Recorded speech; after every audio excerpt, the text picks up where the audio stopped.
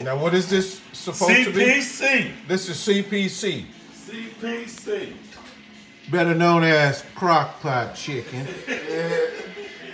For all you that don't know nothing about this, we have a long history with the crock pot chicken. All right, That thing looked like it just came up. And if, if you look at the crock pot, you will notice that we've had several of these CPCs.